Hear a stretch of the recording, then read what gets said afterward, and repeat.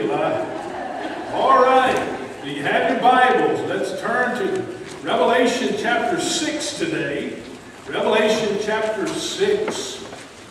We're making our way through a series of messages on Sunday that I've entitled As Time Runs Out. We're making our way through the book of Revelation.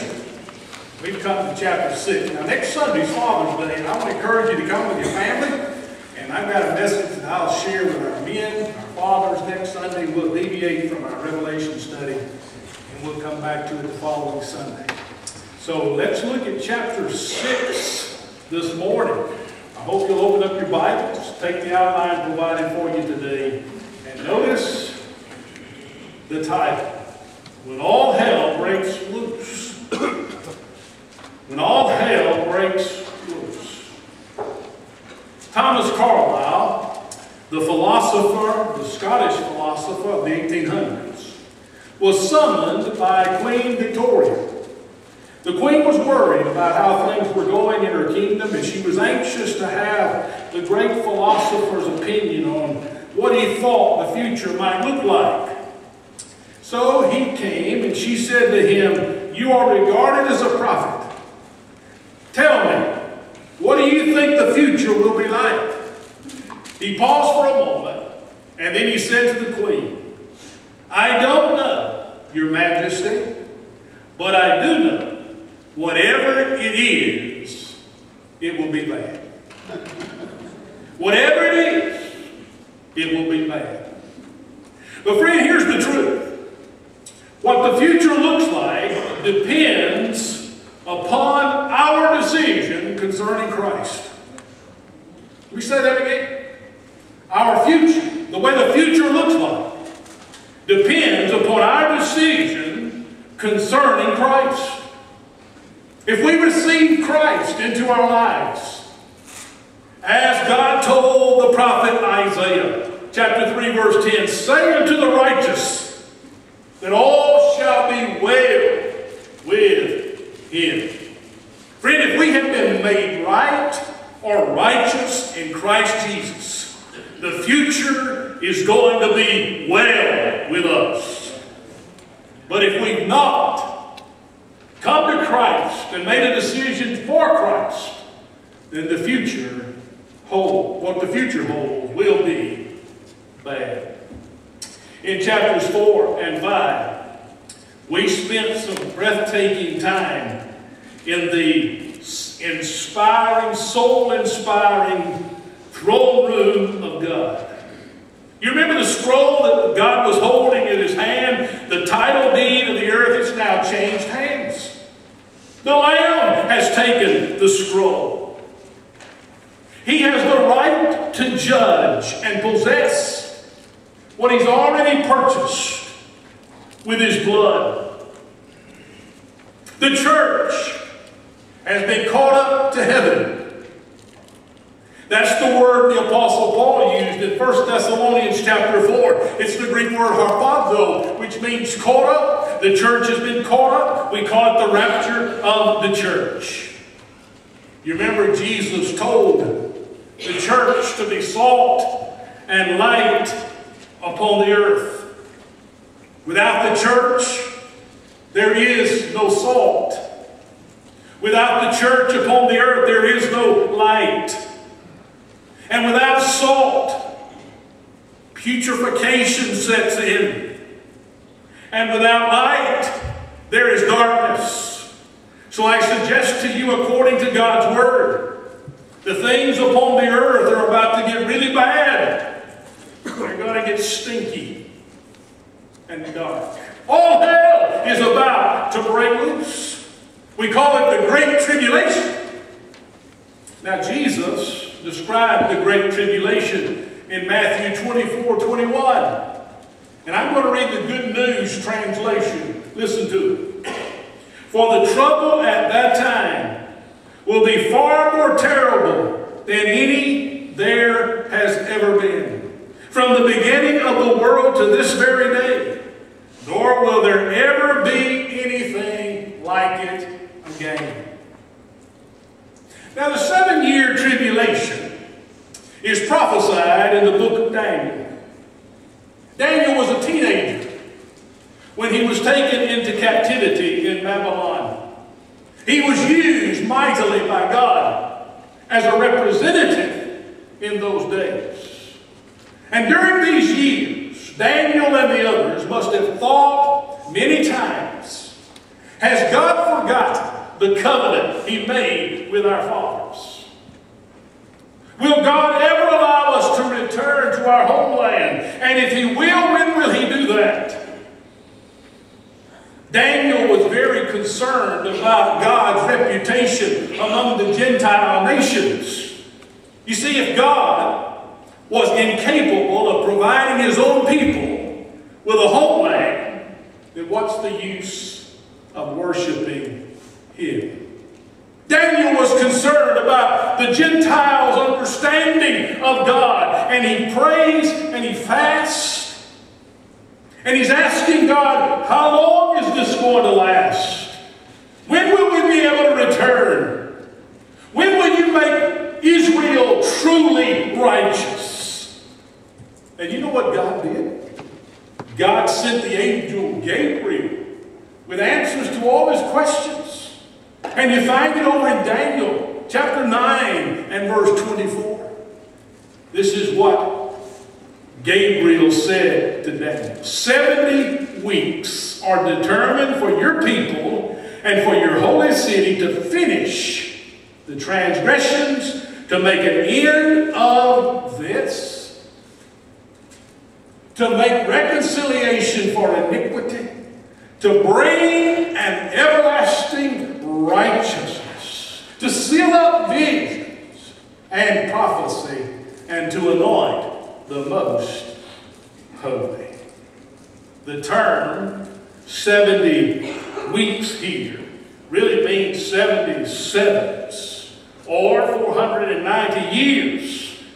And from the time that there came that decree from Cyrus to a Jewish remnant that they could return and rebuild the temple, until Jesus rode triumphantly into Jerusalem on a donkey is 483 years, leaving seven years remaining in God's dealing with Israel. Now here's what you need to remember. Because Israel rejected Christ, God pushed his stopwatch on that 490 year period. And the time that he pushed the stopwatch until the time that he comes for his church is called the church age. It's called the time of the Gentile. This is what Paul writes in Romans 11, 25. For I do not want you to be ignorant of this mystery. A partial hardening has happened to Israel until the fullness of the Gentile has come. When the church age concludes and Jesus comes again, the time to deal with Israel will begin again. And there's seven years remaining. That is what we call the Great Tribulation. Remember that the reason we have tribulation coming is for God to deal with Israel or redeem Israel and for the condemnation of the unbeliever. Now, this tribulation period centers around three series of judgments. The seal judgments that we're going to look at this morning, the trumpet judgments, and the bowl or vial judgments. I believe they run concurrently or are the same, just with different symbolism. So let's begin here in chapter 6. This 14 chapter exciting journey that we call the tribulation period. Seven years. I noticed there in verse 1 the mentioning again of the living creatures. Look at verse 1. Now I saw when the Lamb opened one of the seals and I heard one of the four living creatures saying with a voice like thunder. By the way, when you read the word thunder, you know that there's a storm approaching. A storm is approaching, friend. And look at what it says. Come and see. And I looked and behold a white horse. But notice the four living creatures. That's what I want to mention again. Some have, some have translations use the word beast, but that description is really incorrect because the Greek word here is zoa, which, from which we get our English word zoo. We first met them in chapter 4, if you remember, verses 6 and 7. They're around the throne. One is like a lion. One is like an ox. One has the face of a man. And the other is like an eagle. You remember that? Ezekiel, in his vision, pictures the same animals, the same uh, living creatures, but he calls them cherubim. Cherubim are the highest of the angel hierarchy. Here in Revelation, I believe they are symbolic for all the, the living uh, or creating order of God. But they're all around the throne and they're giving praise to God. I wanted you again to know that the living creatures are there and they are seraphim and uh, one is like a lion, one's like an ox, one has the face of a man, one is like an eagle. I want you to recognize this because it's the cherubim who look like these living creatures who are going to introduce each of these seals. Okay? Now, the first four seals introduce for us four on horseback and riders on horseback, and they are usually identified as the four horsemen of the apocalypse. Who are they? What are they doing? That's what we're going to look at today. We're going to look at six of the seals. The Lamb has taken the scroll. He is worthy to undo the, the seals. Notice the first one, verse 2. And I looked and behold a white horse. He who sat on it had a bowl and a crown was given to him. And he went out conquering and to conquer. The white horse. I believe, first of all, as we look at the white horse, we're talking about the counterfeit Christ. The counterfeit Christ. Some have suggested that the one on the white horse going out to conquer is Christ himself, as he's pictured in chapter 19 of Revelation. But I believe this is a counterfeit Christ, a counterfeit of the real thing, a Christ wannabe. He's called the Antichrist. He is Satan incarnate. Prophecy tells us he will come on the scene at the beginning of the, the tribulation period. What's the church's goal? He will be free to come and work unhindered. There's some other things I noticed here about this particular rider. Did you notice he was given a crown on his head? And the word crown here comes from the Greek word stephanos. We've already talked about that word. But it is the victor's crown. You see, if this rider was Jesus, he would not have been given a stephanos. He would have been given a diadema, which was or is the crown of the king, the kingly crown. And only Jesus Christ can wear a diadema because he's the King of Kings. In Revelation 19, I noticed that he goes out with a two-edged sword, but did you notice this rider? He goes off with a bow. And I also noticed he doesn't have any arrows. So he's not going forth to kill. He's not going forth to shed blood, but he's going forth to conquer, the scripture says. I believe he's going to conquer with deception. Deception. He will deceive through a new political order and a new religious system. He will promise peace and sign a great peace treaty among the nations and Israel. The people and the nations of the earth will be greatly deceived, and they will follow him with great devotion. Genesis chapter 3, verse 1 says about Satan. He is more subtle than any beast of the field. This is how Daniel describes the Antichrist in 825. Though, or excuse me, through his cunning, he shall cause deceit to prosper under his rule. Friend, the masses will be deceived by his charisma by his promises, and they will follow him with great devotion. Several years ago, someone called a lady whose husband drove a truck. He was gone often. He delivered packages. And this particular man that called had a professional sounding voice, and he said, Mrs. Jones, this is Dr. Johnson. And I am sorry to inform you that your husband is in the hospital with a life-threatening unknown disease and may die. And we need a hair sample from you immediately because we believe that you may have contracted the disease also. The terrible news jolted the woman.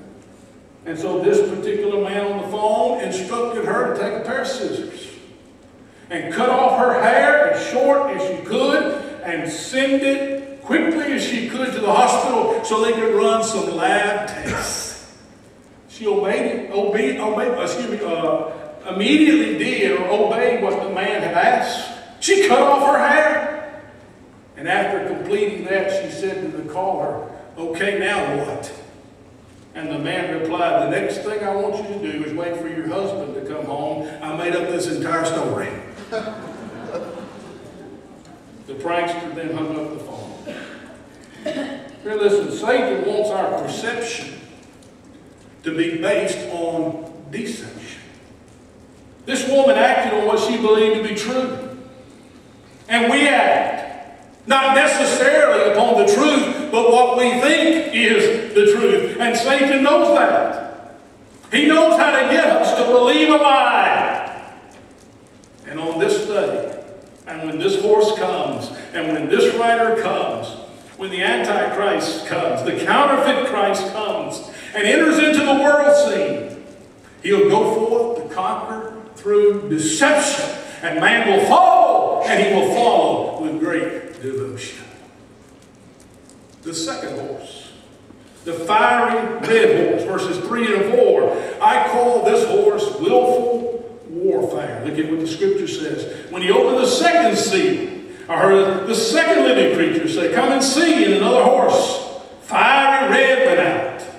And he was granted to, to, it was granted to the one who sat on, on, on it to take peace from the earth, and that people should kill one another. And there was given to him a great sword. Matthew chapter 24, verses 4 through 6 says, Take heed that no man deceives you. For many shall come in my name, saying, I am the Christ, and deceive many, and you shall hear wars and rumors of wars. But be not troubled, for all these things must come to pass. The end is not yet. The rider of the white horse went out to deceive. The rider of this red horse, he will go forth to kill. John says he will take away the peace, and the people should kill one another. To me, that's willful or intentional killing. It is killing without remorse. Notice he's given a sword. In Bible prophecy, or in the Bible itself, from the Greek language. When it speaks of a sword, it's talking about a small sword used in close combat. And this rider will go forth and he will use that, that sword and there will be killing among the people. the killing will know no bounds. Nation against nation. Neighbor against neighbor. Brother against brother. The Hatfields and McCoys will seem like a pop gun shoot. This horse will bring willful, intentional killing. Killing without remorse will break loose upon this earth. Number three will be the black horse. The rider will come forth, and there will be famine. I call it fatal famine. Look at verses 5 and 6. When he opened the third seal, I heard the third living creature say, Come and see. So I looked, and behold, a black horse. He who sat on it had a pair of scales in his hand. And I heard a voice in the midst of the four living creatures say, A quart of wheat for a denarii, and three quarts of barley for a denarii, Do not harm the oil and the wine. The color black is symbolic of famine. Famine always comes after warfare. When everybody's involved in warfare, you see, there's nobody to work the crops. There's nobody to, to, to plant the crops. There's no one to carry the crops to market. Famine follows war. You know what it appears to me? It appears that, that the economic system of the world is going to collapse and bring the world to her knees in utter poverty. Did you notice this writer comes forth and he's carrying an old-timey scale? You know what that means? Food's going to be scarce. It's going to be measured and it's going to be rationed. Food's going to be expensive. A quart of wheat is a small amount. But it cost a denarii. One denarii was a working man's daily wage. You would work all day for a small piece of bread. A poor man's bread, called barley bread, wasn't quite as expensive it was only slightly more reasonable. But can you imagine working all day for a small piece of bread? What about your family? What about your children? Do you give one the bread over another? Or you, do you just divide it all out among your family so you can all starve to death together? There's going to be great famine when the tribulation comes. Number four horseman comes forth. It's the pale horse. I refer to this horse as disastrous death, verses 7 and 8. When he opened the fourth seal, I heard the voice of the fourth angel, or the fourth living creature say, Come and see. And I looked and behold a pale horse. And the name of him who sat on it was Death, and Hades followed with him. And power was given to him over a fourth of the earth, to kill with sword, with hunger, with death and by the beasts of the earth. Note the word pale. Comes from the Greek word chlorophyll. From that word, we get a lot of words. Many of you ladies especially will know about Clorox and the color of Clorox. Really, the, the, the, the color to me is, a, is, a, is the color of a uh, decomposing corpse. That's what you get. Did you notice he's given the power to kill one fourth of the earth? Today's population of the earth is 6 billion people. That means as this rider rides, 1.5 billion people are going to die. Can you imagine the stench? Can you imagine the disease? Now notice something here. Notice that this rider is given power to kill in several ways. He's given the power to kill with the sword, which is warfare. He's given the power to, to uh, kill with hunger. He's also given the power to kill through pestilence. But then, notice, it says he's given the power to kill with death. The fact that he uses death twice here seems a little redundant. I believe the last death speaks of diseases. Those ones, the ones that were once curable, will have will not be phased by any medication. Things like smallpox and diphtheria, malaria, these things are going to spread like wildfire. But then John says something else. Did you notice the last part? And by the beast of the earth. Now when we think of beast, we think of something big and ferocious. Dr. David Jeremiah and many other commentators suggest here that the beasts that would do the most damage are rats. The fleas, you remember, of rats carried the bubonic plague, which killed a third of the population of Europe in the 14th century. I read they multiply, multiply rapidly. I, re I read that they can carry, rats can carry up to 35 different diseases. So this writer is given the power to bring disastrous death. So that's the four horsemen of the apocalypse. The Antichrist, the warfare, the famine, and the death. But there's some more seals to open. Number five, quickly, are the martyrs. Look at verses 9 through 11. When he opened the fifth seal, I saw under the altar the souls of those who'd been slain for the word of God, for the testimony which they held. And they cried with a loud voice, saying, How long, Lord, holy and true, until you judge and avenge our blood on those who dwell on the earth? Then a white robe was given to each of them. And it was said to them that they should rest a little while longer until both the number of their fellow servants and their brethren who would be killed, future tense, is it uh, will be killed as they were, was completed. The Greek word for martyr there is martus, which really means a witness.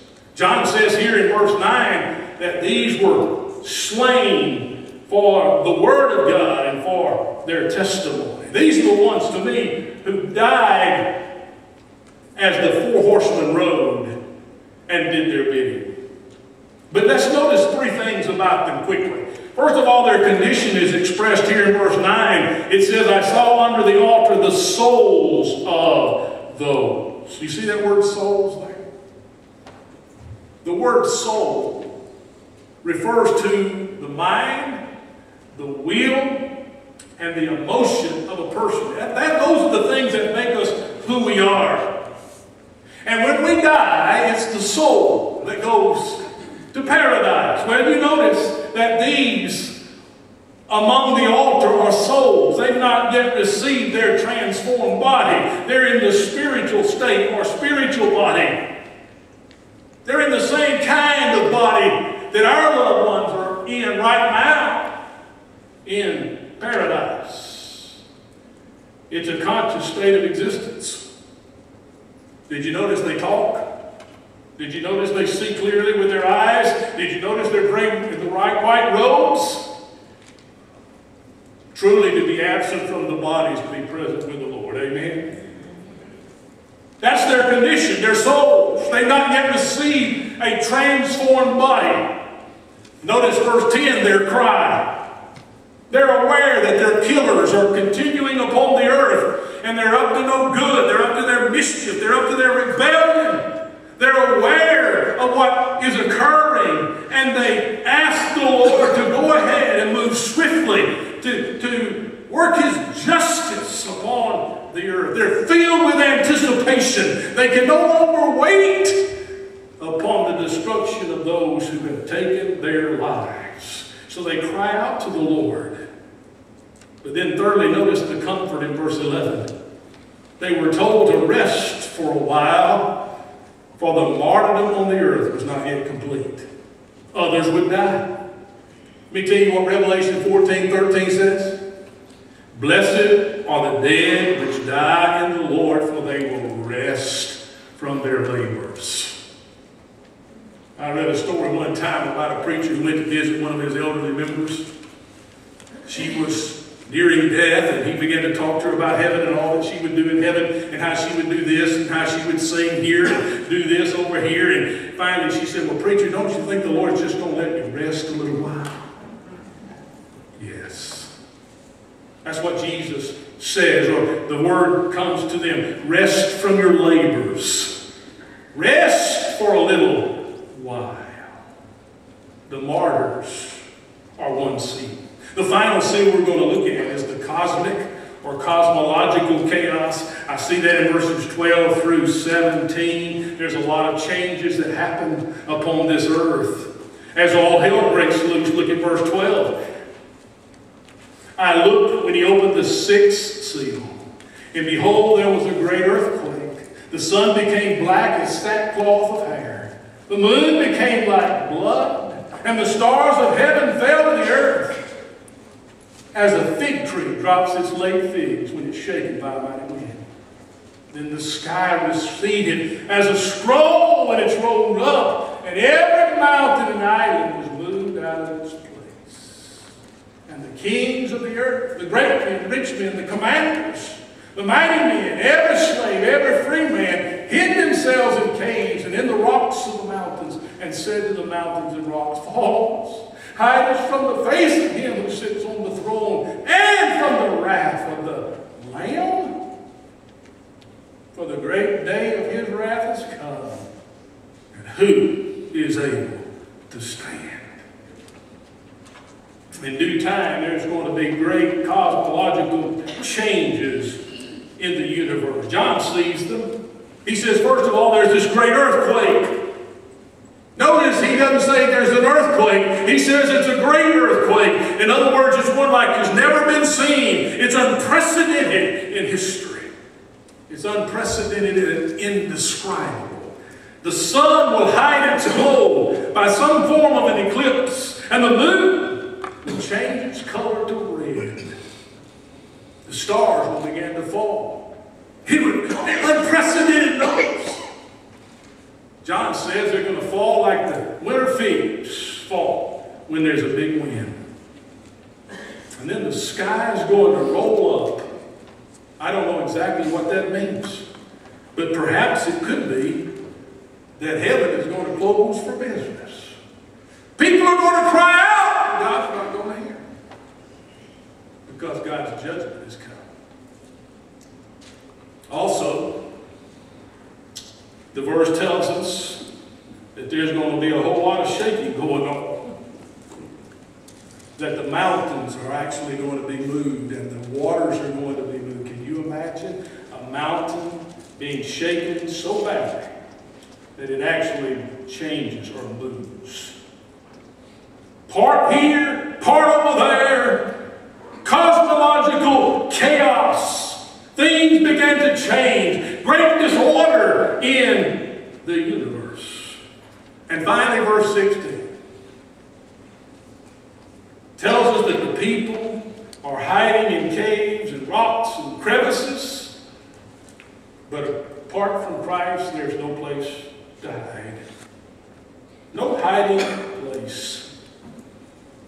It's amazing to me that the ones described here are of all kinds and all shapes and sizes, the rich, the poor, and they're hiding. And did you notice their prayer?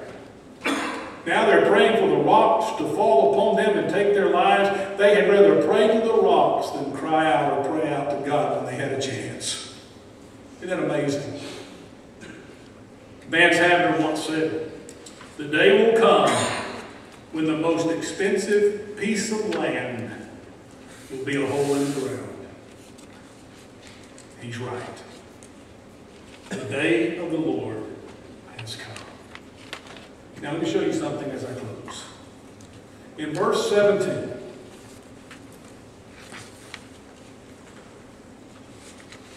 do you see the word wrath? For the great day of his wrath has come. I took a moment and looked at that word. It comes from the Greek word orgi, which speaks of a violent explosion. You know what that says to me? The wrath of God has been brewing for, from, for thousands of years.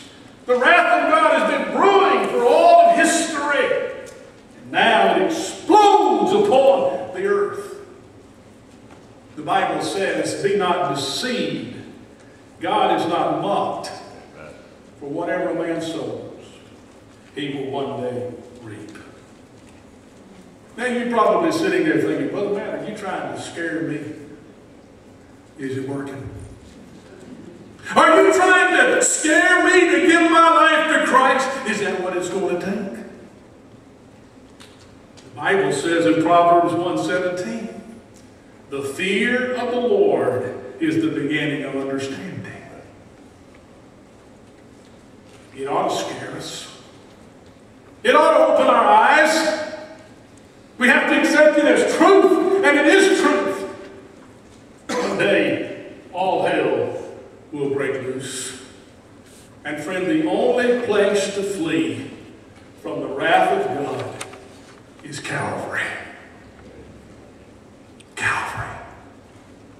I'll close with this.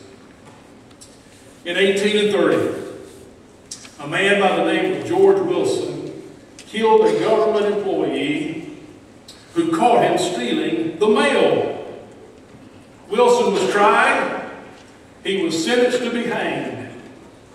But for some reason, the President of the United States at the time, Andrew Jackson, sent Wilson a pardon. But Wilson did a strange thing. He refused to accept the pardon. What do you do when someone won't accept the pardon? Well, it went all the way to the Supreme Court, and Chief Justice Marshall wrote this opinion. A pardon is a slip of paper, the value of which is determined by the acceptance of the person to be pardoned. If it is refused, it is no pardon. George Wilson must be hanged. And he was. Friend, listen to me. The death of Jesus Christ on the cross is God's pardon to mankind. But if we reject it, it's null and void in our lives. If we don't want to accept it, we don't have to accept it. But we will die and be eternally separated from God. But if we accept the death of Christ on the cross for the forgiveness of our sins, we can have pardon and eternal life. You see, what we do with Christ really determines our future, doesn't it? If we receive Him into our hearts, all is going to be well. But if we don't, all is going to be. That's as clear as I can play it. Let's pray. Father, thank you for your word. It is so powerful and so amazing. And Father, it's hard for us to fathom in our own minds the kind of wrath that will explode upon this earth. And what we call, and the Bible calls, the day of the Lord. But may we understand that it's been building up for, for the years of history. Man rejecting God, ridiculing God, blaspheming His name. May we understand that there's coming a day when all hell will break loose upon this earth.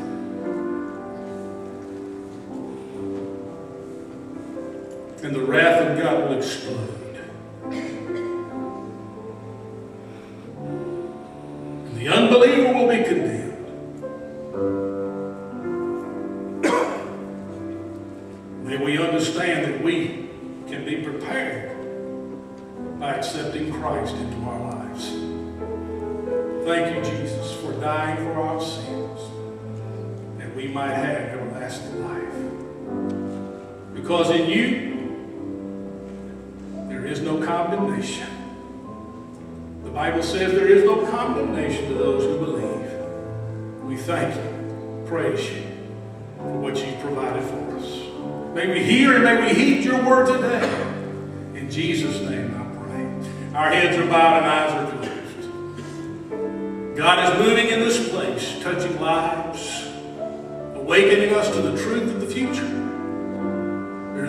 Here today, friend, I want to encourage you to come give your heart and life to Jesus.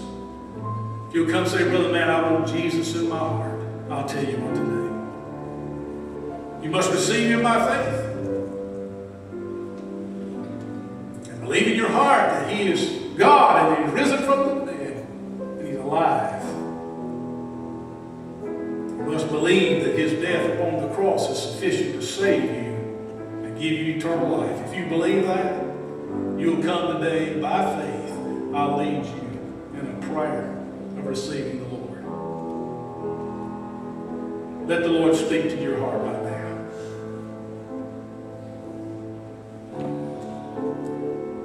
There may be some others here today who need to come, join the church, another church, want to come to the altar and pray. Let the Lord speak to your heart today as well. This is His invitation. It's not mine. Let me best I know how. Just turn it over to the Spirit of God now. And let Him work in our hearts. Let's stand together. Let's sing. And you come.